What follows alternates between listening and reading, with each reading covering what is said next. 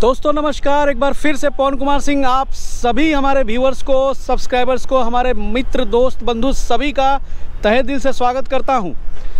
और दोस्तों, आज लेकर आया हूँ बहुत खास चीज़। जी हाँ दोस्तों, पटना में गंगा नदी के आगोश में जो पल रहा था ख्वाब, जिसकी कल्पना 25 साल पहले की गई थी।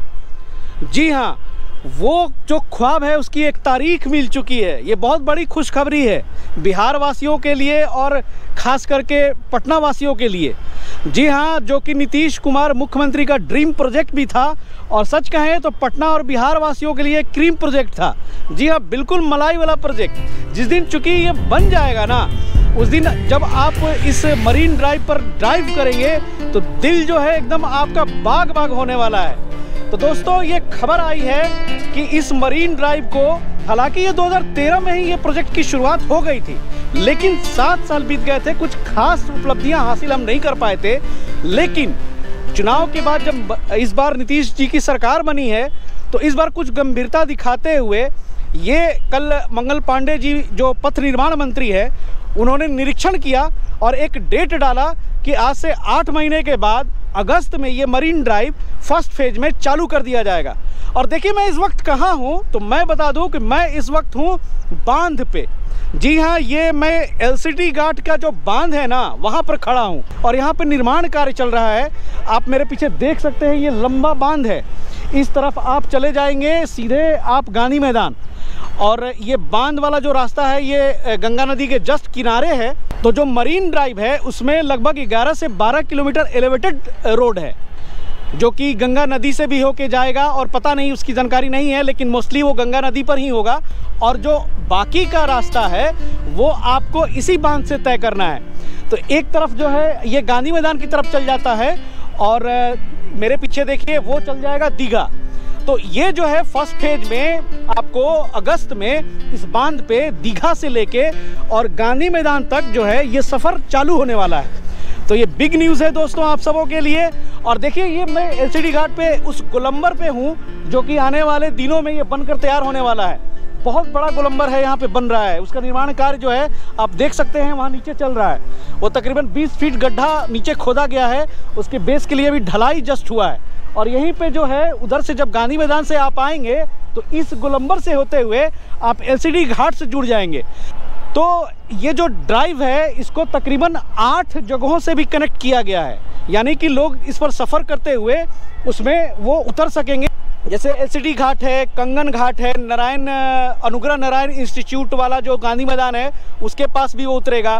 तो तकरीबन आठ जगहों से ये कनेक्ट होने वाला है। तो गज़ब का बवाल होने वाला है आठ महीने में। और काम बहुत तेज़ी से चल रहा है, दोस्त। तो देखिए, वो मेरे पीछे जो है, ये एस गार्ड के पीछे आप देख रहे होंगे, वहाँ भी काम जारी है और वहाँ पर कुछ मुझे हल्का लग रहा है कि वहाँ पर बन चुका है। तो चलिए वहाँ से अपडेट देते हैं। फ़िलहाल एक बार हम लोग नीचे उतर करके देखते हैं वहाँ पर कैसा बन रहा है। नीचे चलते हैं।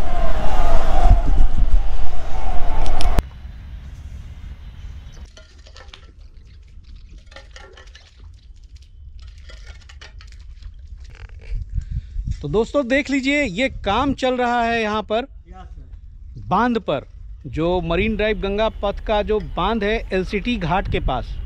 और ये जो बनाया जा रहा है तकरीबन 20 फीट का गड्ढा खोद करके और बहुत लंबा चौड़ा यहाँ पर एक बेस बनाया जा रहा है गुलंबर के लिए।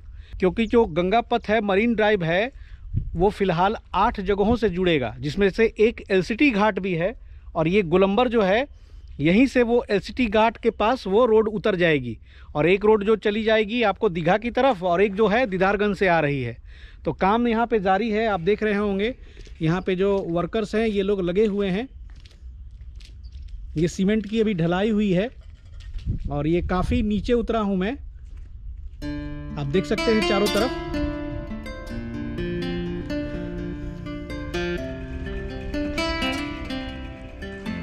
तो वर्क ऑन प्रोग्रेस है। काफ़ी तेज़ी से काम चल रहा है। और इस हिसाब से अगर काम चलता है तो ये बिल्कुल सात से आठ महीने में पूरा कर लिया जाएगा।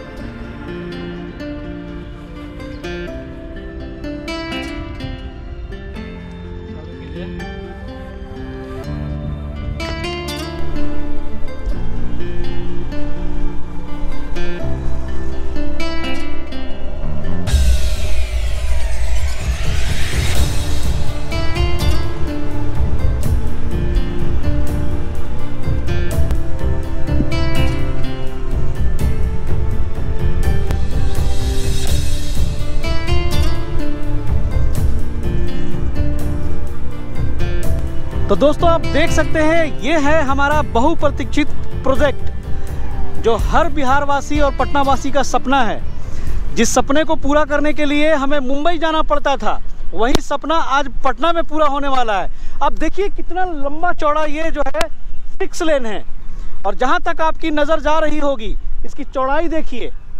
और अभी आने पे यहाँ पे इतना अच्छा फील हो रहा है। जब ये बन जाएगा और इसमें जब आपकी गाड़ी दौड़ेगी, तब कितना अच्छा फील होगा। हमारे उधर पीछे गंगा जी बह रही हैं।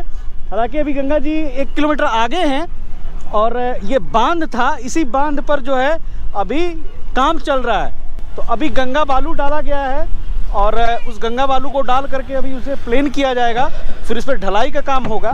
तो काम तो खैर बहुत बाकी है लेकिन ये दिख रहा है कि काम बहुत तेज़ी से चल रहा है यहाँ पर। तो आइए थोड़ा आपको आगे लिए चलते हैं। ये जो रास्ता है, ये दीघा की तरफ़ से आ रहा है। और ये बता दूँ कि ये आगे जाके एलसीडी घाट होते हुए आप निकल जाएँगे सीधे गांधी मैदान। तो काम युद्ध स्तर पर जारी है और ये बालू भराई के काम आप देख सकते हैं हमारे पीछे। और चलिए उधर से भी आपको थोड़ा सा व्यू दिखाते हैं।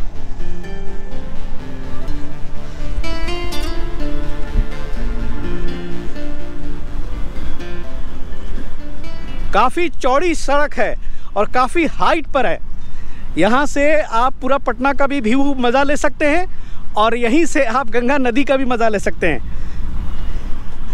ये देखिए, यहाँ पे जो है, ढलाई हो चुका है साइड में। अब ये पता नहीं क्या है, कोई है भी नहीं यहाँ पे कि मैं पूछूँ, लेकिन ये लग रहा है कि ये शायद वॉक करने के लिए होगा। दोस्तों, यहाँ खड़ा होने के बाद जो नज़ारा है ना, खूबसूरत, हरा भरा और पीछे गंगा जी उसको बयान नहीं कर सकता। और ये देखिए, दियर की खेती है पीछे, जो की जा रही है, और उसके जस्ट पीछे नज़र आ रहा होगा आपको, वो बालू वाइट वाइट नज़र आ रही होगी आपको, वो गंगा जी हैं। और ये जो पीछे आप देख रहे हैं ना, दोस्तों, ये जो पत्थर बिछा हुआ है एक रास्ता, ये जो पत्थर है, शायद इस बाँध के कटाव को रोकने के लिए ये तकरीबन लंबा चौड़ा यहाँ से एक पत्थरों की रोड बनाई गई है, जिससे शायद कटाव को रोका जा सके। और तो इसका कोई मकसद नहीं होगा, क्योंकि हर साल गंगा जी में पानी आती है। उस वक्त, इस रोड को डैमेज होने से बचाने के लिए ये किया गया है।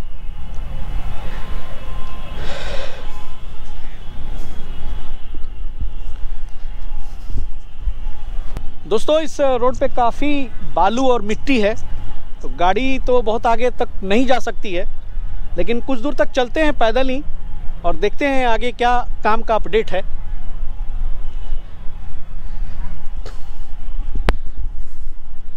ये जो आप देख रहे हैं स्क्रीन पे, ये जगह जगह जो काम कर रहे हैं यहाँ पे वर्कर्स वो लोग अपना डेरा डाले हुए हैं। दोस्तों, इनका कहना है, यहाँ पे वर्कर्स हैं कि अभी चार पाँच दिन पहले ही यहाँ काम शुरू हुआ है, लेकिन काम बहुत तेज़ी से हो रहा है, दिख रहा है। तकरीबन कितने मजदूर लगे हैं आप लोग इसमें?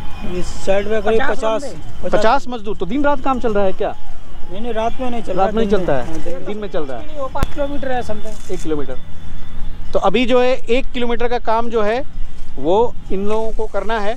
और ये मजदूर हैं जो कि यहाँ पे अपना टेंट वगैरह गाड़े हुए हैं और यहाँ पे काम कर रहे हैं तकरीबन पचास की संख्या में। तो ये आप देख सकते हैं Digha to Didarganj Ganga pathway marine drive का अपडेट।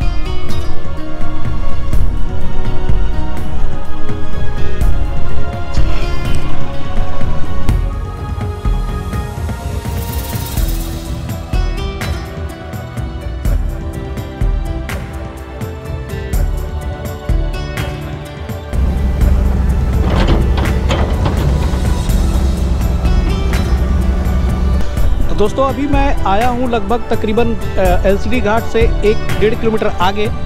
और ये देखिए, यहाँ पर मरीन ड्राइव का जो यूनिट है, हुडको का, यहाँ पे सारा जो पिलर्स है, पत्थर हैं, ढलाई वाले, कंक्रीट वाले जो सारे चीज़ तैयार किए जाते हैं यहाँ पर, यहीं से तैयार करके और उसे पहुँचाया जाता है। ये बहुत बड़ा प्रोजेक्ट यहाँ पर लगा हुआ है। बड़ी बड़ी मशीनें हैं, कारखाने हैं यहाँ पर और यहीं से जो भी सामान है उसको लोड करके ट्रक के ज़रिए पहुँचाया जा रहा है। वहाँ पर तो एक गुलंबर बनेगा, एसटी घाट के पास जो कनेक्ट करेगा, और यहाँ पर बाँस घाट के पास जो है वो अंडर पास है। हालाँकि बाँस घाट से आप मरीन ड्राइव पर नहीं आ पाएँगे, एक वहाँ पे आगे जो है बाँस घाट के पास वो अंडर पास बन रहा है। तो हालाँकि यहाँ पर उधर बहुत सारा काम जो है लगभग समतल करने का हो चुका है बाँध पर, लेकिन यहाँ पर अभी काम चल रहा है। तो ये आप सामने देख रहे हैं, ये पटना की कुछ बिल्डिंगें दिख रही होंगी।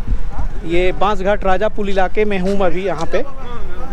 तो ये जो सामने ये रास्ता गया हुआ है, ये मरीन ड्राइव का ही रास्ता है। यहाँ पे बालू के टीले आपको दिखाई दे रहे होंगे, और अभी यहाँ पे समतल करने का काम चल रहा है।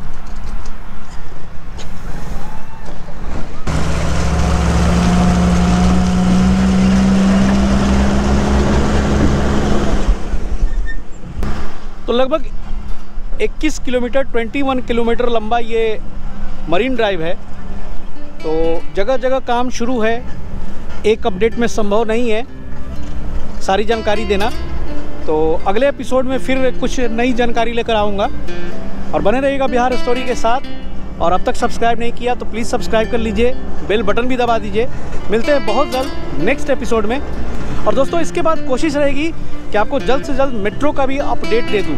क्योंकि मेट्रो प्रोजेक्ट और ये मरीन ड्राइव जो दो मेजर प्रोजेक्ट है ना पटना का, इस पर सबकी निगाहें टिकी हुई हैं। तो उसकी भी जानकारी लेकर आऊँगा बहुत जल्द। तो बने रहिएगा बिहार स्टोरी के साथ, तब तक के लिए जय हिंद, जय भारत।